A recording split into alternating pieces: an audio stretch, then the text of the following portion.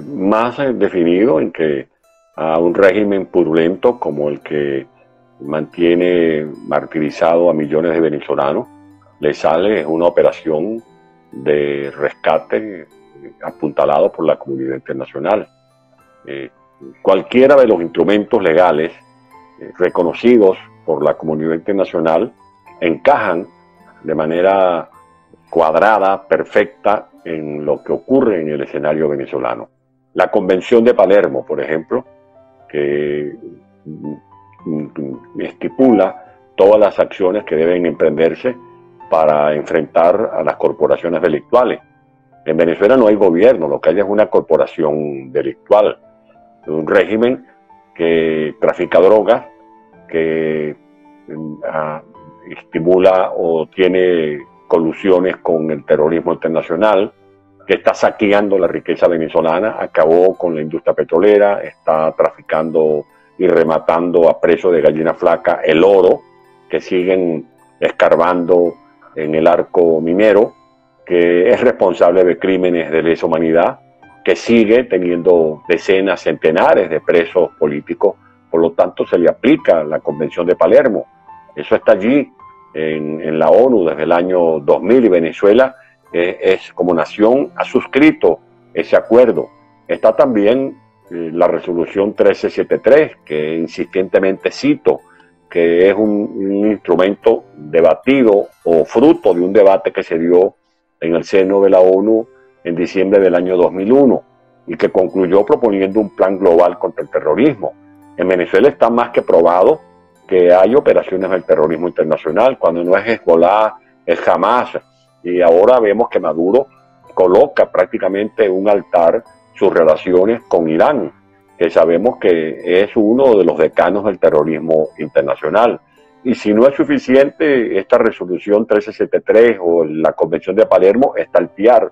el Tratado Interamericano de Asistencia Recíproca, o está el concepto de responsabilidad de proteger. Y dentro de Venezuela está el artículo 187, número 11 de la Constitución Nacional. Respetuosamente le sigo insistiendo al presidente Juan Guaidó que ahora más que nunca él tiene que preservar la ofensiva ante estas escaramuzas que se han presentado con ocasión de estos errores tácticos, de estas iniciativas eh, que trajeron como consecuencia todo este mar de confusiones de la cual se quiere aprovechar el régimen para aparentar que es un régimen fuerte, que tiene todo bajo control. No, en Venezuela todo está bajo control, pero de lampa. Eh, ahora Maduro dice que es la DEA la que organizó las bandas que están tiroteándose en los barrios de Caracas. Lo que falta es que diga que su brutalidad es culpa del espíritu de Andrés Bello. Pues ¿quién va a creer que es la de ella cuando se sabe que estas bandas operan en los llamados territorios de paz, que no son tal cosa, sino territorios de terror,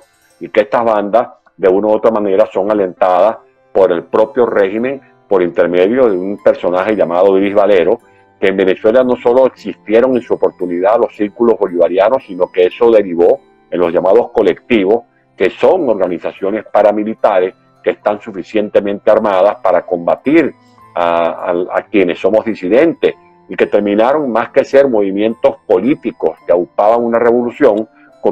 terminaron siendo eh, instrumentos del amponato para cometer secuestros, para cometer extorsiones, para cometer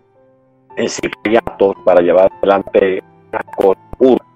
Si no son las bandas llamadas colectivos, están los pranes. En Venezuela, los pranes son los que manejan las cárceles. Vemos lo que acaba de ocurrir, desgraciadamente, en una cárcel del Estado portuguesa, donde murieron 48 seres humanos, porque más allá de que sean penados, de que hayan cometido delitos, son seres humanos. Y como esos siguen muriendo como seres humanos que mueren, por ejemplo, en el Estado Bolívar, en Amazonas, a mano de las élites de la FARC o del ELN que controlan el arco minero, que no solamente explotan el oro, sino que explotan a niñas, porque allí hay trata de blanca, explotación sexual. O sea, en Venezuela es un país somalizado, un país somalizado porque cuando no son la, cuando no es la banda del, del tren del encanto, es la banda del picure, cuando no son estas bandas, son estos eh, operadores que desde las cárceles organizan secuestros, eh, montan programas de extorsión. O sea, todo eso tiene que ver con un régimen que no tiene otra calificación sino de régimen forajido